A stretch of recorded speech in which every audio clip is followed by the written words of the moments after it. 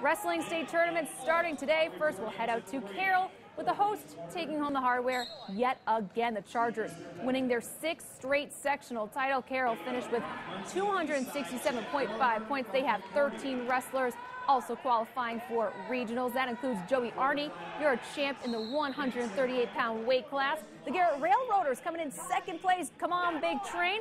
They bring home 10 regional qualifiers. That is the most in school history.